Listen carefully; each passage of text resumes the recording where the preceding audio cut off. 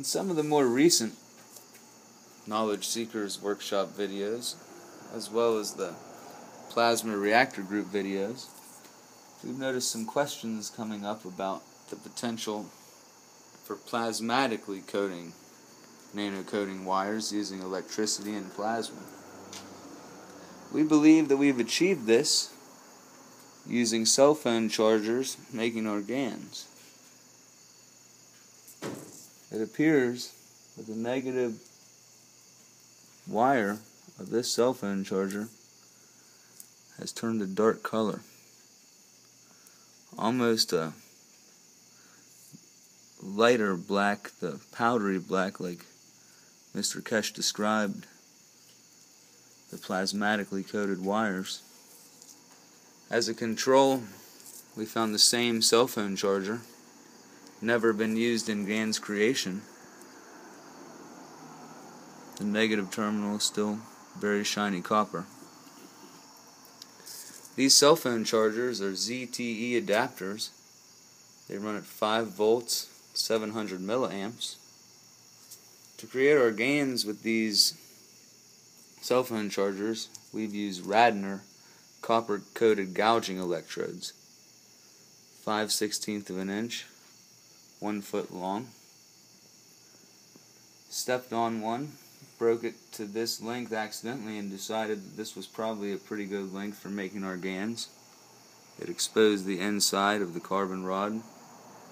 And using a technique that we learned from Don and John and Carrie Ellis's video, we dissolved the copper from the electrode by placing it placing two of those electrodes, one on the negative, one on the positive, and the positive electrode, the copper coating dissolves.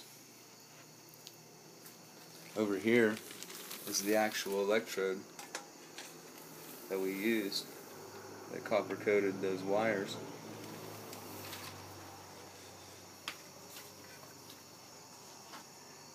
Here's the actual piece of wire and alligator clip we used in our GANS process, and you can see the negative wire is very well coated in this uh, on this wire too, where we stripped it back.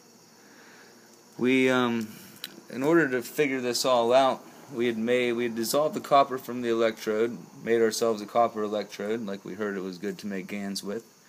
Made a zinc GANs with that, couple batches actually, and copper GANs, couple batches of copper GANs with electricity, and we decided then to add in the fan between the wires to make more of a CO2 GANs instead of a instead of a zinc GANs.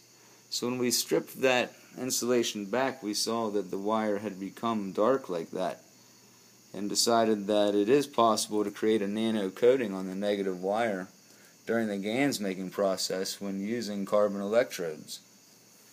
Our ultimate conclusion is that the plasma flows up from the GANs water back into the wire during the GANs creation.